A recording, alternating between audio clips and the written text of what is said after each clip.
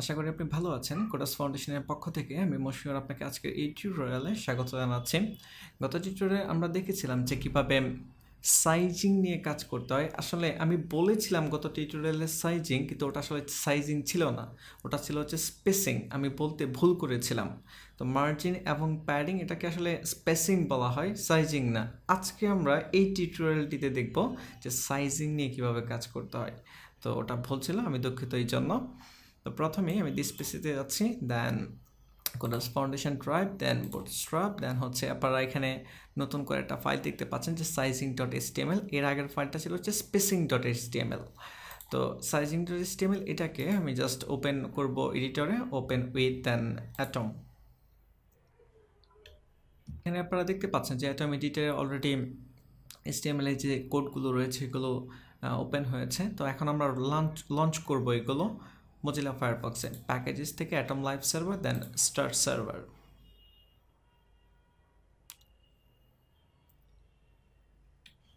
ফাইলগুলো দেখতে পাচ্ছি। ছয় নম্বর যে ফাইলটা রয়েছে six underscore sizing dot HTML এখানে আমরা ক্লিক করব। ক্লিক করার পর এখানে আপনারা একটা স্ট্রাকচার দেখতে পাচ্ছেন আউটপুট দেখতে পাচ্ছেন। তো এই আউটপুটগুলো এটাকে জাস্ট আমি একটু মিনিমাইজ করতেছি। মিনিমাইজ করার পর দেন ছোট করে দিচ্ছি একটু। একেবারে ডান দিকে ছোট করে দিচ্ছে। তারপর এডিটরটা পাশে সেট করতেছি, দুইটাকে পাশাপাশি রাখতেছি, এটাকে একটু বড় করতেছি এডিটর, আর হচ্ছে মজিলা ফায়ারফক্সকে একটু ছোট করে দিচ্ছি।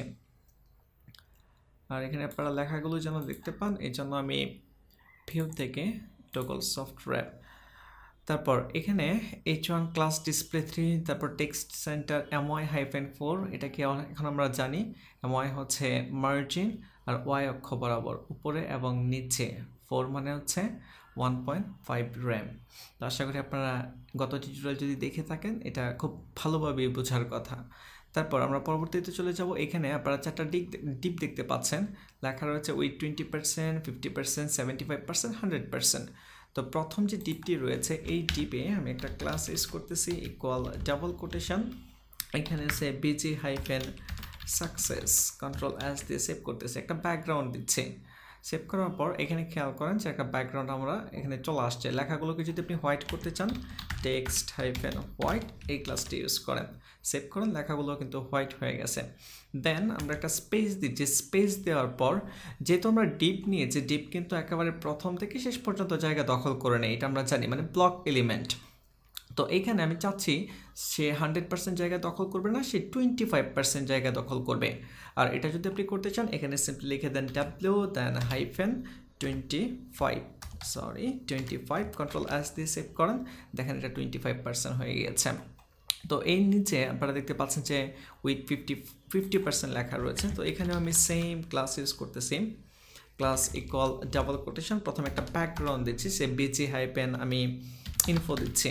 কন্ট্রোল অ্যাস দিয়ে সেভ করতেছি ইনফো ব্যাকগ্রাউন্ড চলে আসছে, তারপর এখানেও আমি উইথ ইউজ করব ডাব্লিউ হাইফেন এটা উইথ দিচ্ছি ফিফটি পার্সেন্ট কন্ট্রোল অ্যাস দিয়ে সেভ করেন, দেখেন এটা পুরো স্ক্রিনের সরি ফিফটি পার্সেন্ট না, শুধু ফিফটি হবে।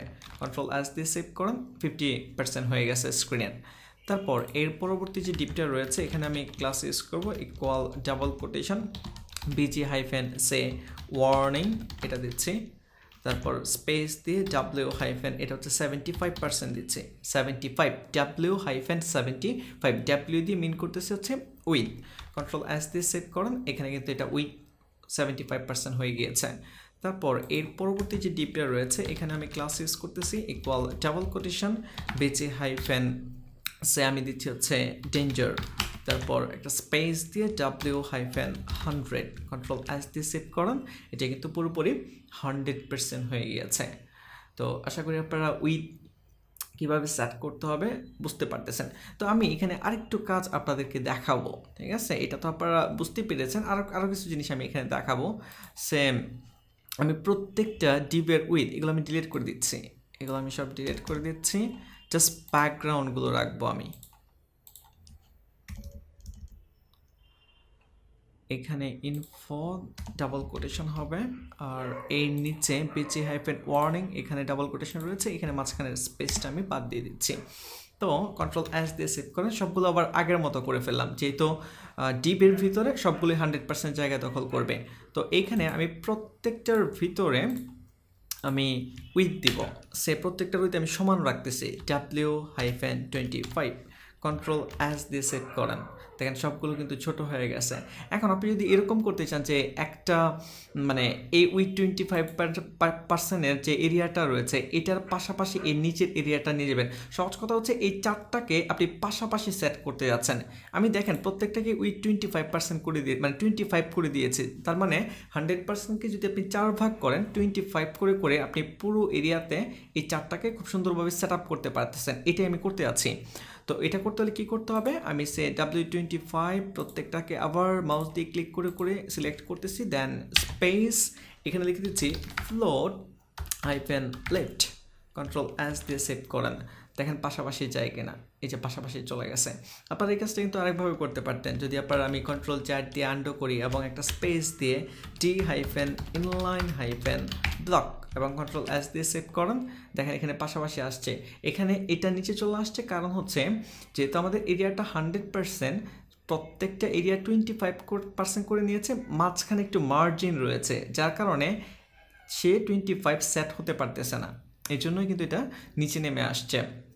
তো আপনাদের যদি এরকম প্রয়োজন হয় যে একটা টিপের সাথে আরেকটা টিপ একেবারে পাশাপাশি থাকবে, মাঝখানে কোনো গ্যাপ থাকবে না, সেক্ষেত্রে আপনি D hyphen inline hyphen block use করবেন না ইউজ করবেন হচ্ছে float hyphen left control S দিয়ে সেভ করেন। সেভ সরি ফ্লোট বানান হয় নাই। হাইফল ও আর T hyphen left control S দিয়ে সেভ করতেছি, এখন দেখেন পাশাপাশি চলে আসছে। তো ফ্লোট লেফট ইউজ করলে এখানে নিচে গ্যাপটা একটু বেশি ছিল গ্যাপটা কিন্তু কমে গেছে, ঠিক আছে? তো আমি চাচ্ছি এই নিচের গ্যাপটা যেন আগের মতো হয়ে যায়। এই প্রবলেমটা সলভ করার জন্য আমি যেটা করব, এই চারটা ডিপকে আমি আরেকটা নতুন ডিপের ভিতরে নিব। সেম এখানে ডিপ দিচ্ছি, তারপর এই ঠিক নিচে আবার নতুন করে একটা ডিপ নিচ্ছি দেন একটু ট্যাপ দিয়ে সরিয়ে দিব আমি অ্যালাইনমেন্টটা ঠিক রাখব, এগুলো ওই ট্যাবের ভিতরে যাবে। ট্যাপ দিয়ে ভিতরে সরিয়ে দিচ্ছি, আর এখানে এই ডিপের ভিতরে আমি একটা ক্লাস ইউজ করব। Class equal double quotation clearfix clearfix control S দিয়ে সেভ করেন। দেখেন কন্ট্রোল অ্যাস দিয়ে যখনই আমরা সেভ করতেছি, নিচে কিন্তু একটু জায়গা তৈরি হয়ে গেছে, যেটা আগে ছিল।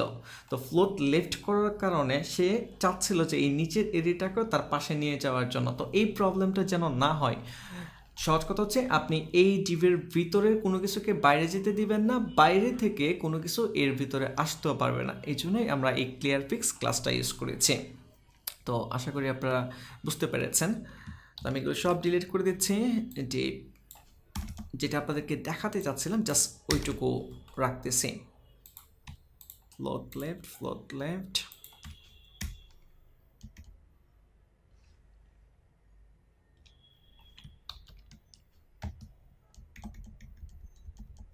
এতটুকু আমি রাখতেছি।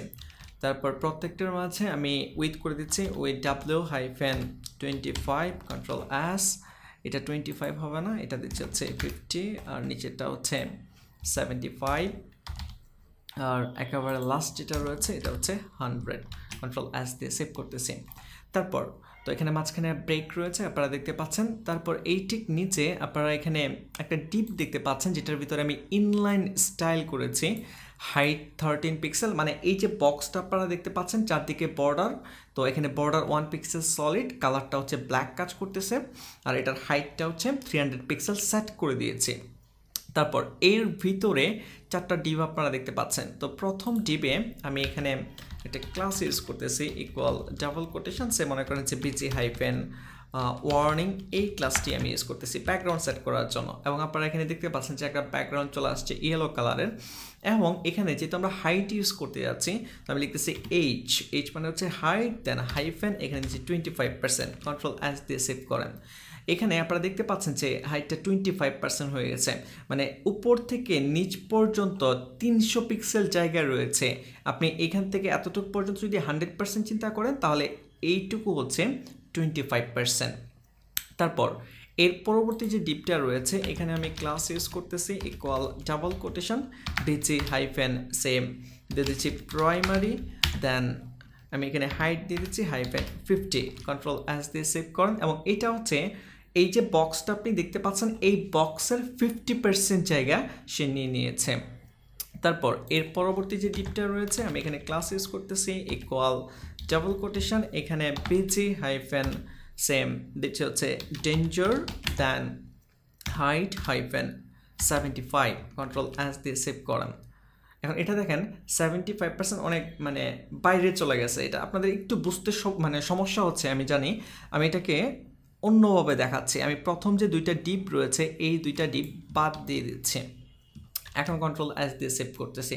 এখন খেয়াল করেন, এই যে ডিপটা, এই ডিপটা সেভেন্টি ফাইভ পার্সেন্ট জায়গা নিয়ে নিয়েছে। উপর থেকে এই পর্যন্ত নিচে শুধুমাত্র টোয়েন্টি ফাইভ পার্সেন্ট জায়গা খালি রয়েছে। তো এখন আমি আগেরগুলো আবার পেস্ট করে দিচ্ছি এখানে।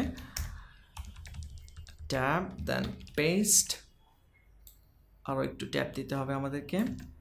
তারপর এই তিনটা ডিপকেই আমি এখন বাদ দিয়ে দিচ্ছি। কন্ট্রোল এক্স দিয়ে কাট করে নিচ্ছি। আর এই ডিপে আমি এখানে একটা ক্লাস ইউজ করব। দেন ইকুয়াল ডাবল কোটেশন এখানে সে বিজি হাইফেন দিয়ে দিতাম ডার্ক দিয়ে দিচ্ছি। ডার্ক আর এটার ভিতরে যদি কোনো লেখা থাকে তাহলে হবে টেক্সট হাইফেন লাইট আর এটার হাইট দিচ্ছি আমরা hundred hundred then control S দিয়ে সেট করেন।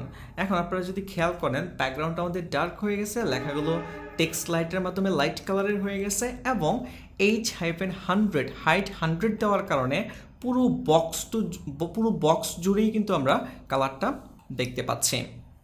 তো আশা করি আপনারা হাইট এবং উইথ সম্বন্ধে কনসেপ্ট ক্লিয়ার তো আমি যেগুলো ডিলিট করে দিয়েছিলাম, এগুলো আবার এখানে নিয়ে আসতেছি। তারপর অ্যালাইনমেন্ট একটু ঠিক করব, এটাকে ব্যাক করে এই পাশে নিয়ে আসতেছি কন্ট্রোল এস আচ্ছা এখানে কিন্তু খুব ভালোভাবে দেখা যাচ্ছে না, কারণ এরিয়া অনেক বড় হয়ে গিয়েছে। যাই হোক, তো আপনারা একটা একটা ডিপ নিয়ে কাজ করবেন, তাহলে খুব সুন্দরভাবে বুঝতে পারবেন।